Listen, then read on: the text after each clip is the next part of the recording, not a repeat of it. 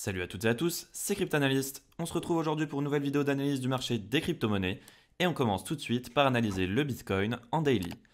Et il y a fort à parier que ce mouvement haussier a fait beaucoup de dégâts et continue encore d'en faire. En effet, grosse bougie verte pour le moment, vous le voyez sur le graphique. On a bien rebondi ici dans la zone verte, zone que j'avais définie comme zone privilégiée pour voir la tendance court terme se retourner. On a bien les cordes de chandelle appuyées ici sur l'oblique de support que constitue le milieu du canal. Ici, l'oblique tracé en pointillé violet. Vous le voyez avec ici un point de contact, deux points de contact, trois, quatre points de contact avec ici les cordes de chandelle. On a bien ici les cordes de chandelle qui s'appuient sur ce support. Donc, on avait une bonne localisation pour penser à un mouvement haussier. Maintenant, est-ce que la localisation seule, c'est vraiment suffisant pour eh bien, revoir une hausse saine et plus longue? Eh bien, clairement, pour moi, non, vous le savez. Certes, en daily, pour le moment, vous le voyez, on est repassé au-dessus de la Tenkan, ici en bleu, et de la Kijun, ici en rose. Et si on met le bien institutionnel, eh bien, vous pouvez voir que, j'en avais Ichimoku pour qu'on y voit un peu plus clair, on pourrait potentiellement recroiser si le cours continue dans cette tendance haussière à très très court terme. Mais attention, vous le voyez ici, hein, on peut avoir quand même des faux signaux, ça arrive, et clairement, pour moi, eh bien, c'est toujours pas suffisant pour voir une hausse saine. Ça peut sembler positif au premier abord, mais clairement, ça n'est pas suffisant. Tout d'abord, concernant la Tenkan et la Kinjun, je vais remettre Ishimoku pour qu'on puisse les revoir. Eh bien, concernant la Tenkan et la Kinjun, je vous rappelle que pour ces composantes d'Ishimoku, la dernière clôture journalière a bien été effectuée pardon, ici, en dessous des deux droites. Donc ce qui va nous intéresser pour les composantes d'Ishimoku, ou que ce soit même pour le bien institutionnel, c'est déjà l'état du cours lors de la clôture journalière. Durant cette journée, on peut encore avoir bien des surprises, rien ne nous dit que la bougie va clôturer à ce niveau-là.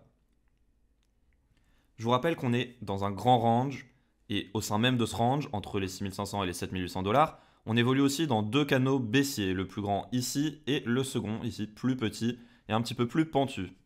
Un marché qui range est très dur à trader et vous en avez la preuve. On a des énormes réjections avec toutes ces mèches comme on peut avoir ici, ici carrément avec cette bougie minuscule, ici, ici aussi énorme mèche. On a des mèches partout, des V-bottom dans tous les sens et des V-top pareil. Des retournements de marché, des chasses au stop, des gros mouvements impulsifs pour piéger acheteurs et vendeurs d'un côté comme de l'autre. Donc c'est vraiment très très compliqué à trader.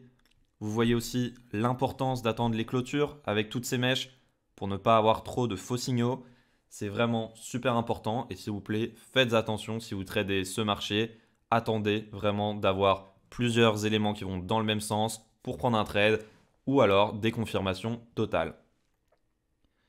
On notera enfin comme seul vrai point positif en daily que le MACD n'est pas repassé sous les zéros pour le moment.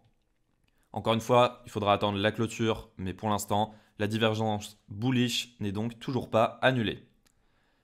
Maintenant, regardons de plus près la situation en échelle de temps H4. En 4 heures, dans la vidéo d'hier, je vous avais dit que pour moi, la baisse n'était pas terminée.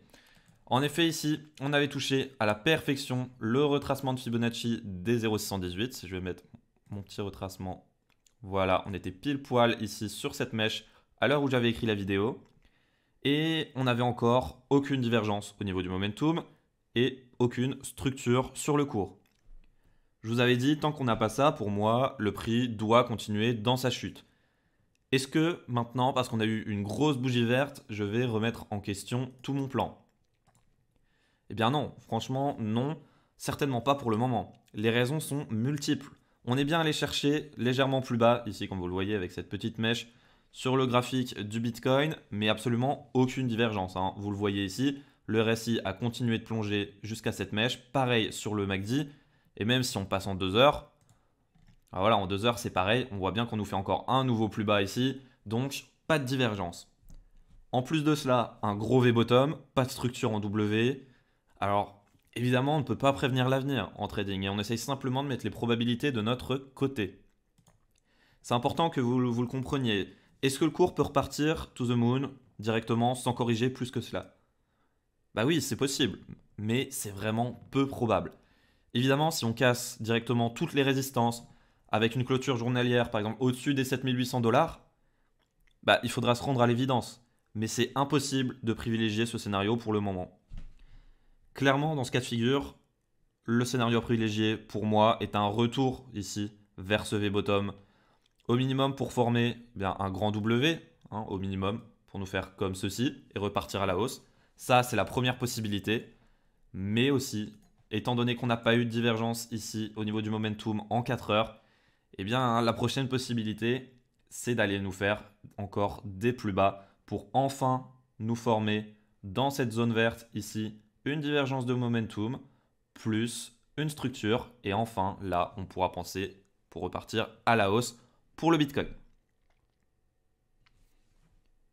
On peut voir que pour l'instant le cours évolue dans un nouveau canal baissier donc pourquoi pas voir ici un nouveau tag, un nouveau tag pardon, ici sur l'oblique haute qui se situe parfaitement, il me semble, dans la zone de retracement de ce mouvement 0,118-0,854. Voilà, quasiment pile poil sur le Fibonacci des 0,786.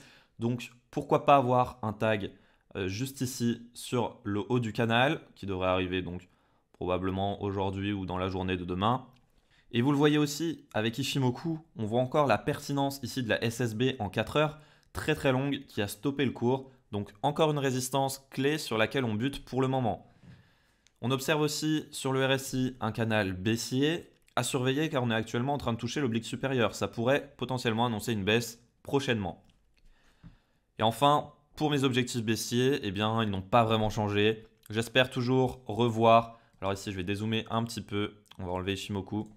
Je vais remettre mon Fibonacci de retracement. Voilà, tous mes retracements de Fibonacci. J'espère toujours voir ici, eh bien, pourquoi pas euh, revenir toucher le Fibonacci des 0,786 vers les 6700 dollars, ou bien le Fibonacci des 0,854 vers les 6100 dollars avec ici le bas des corps de chandelle et les clôtures daily qui sont à ce niveau. Ça pourrait être très pertinent, comme je vous le dis depuis plusieurs vidéos. C'est toujours d'actualité. Maintenant, on avisera le moment venu. Et évidemment, je veux absolument voir une divergence de momentum au moins sur un des deux indicateurs, ou alors éventuellement une structure sur nos indicateurs. Mais clairement, sinon, on risque de continuer dans cette tendance baissière de fond qui pourrait nous emmener, encore une fois, vers eh bien, les 6400 dollars dans un premier temps, les 5500 dollars potentiellement, ou bien même, pourquoi pas, jusqu'aux 5000 dollars sur la moyenne mobile 200.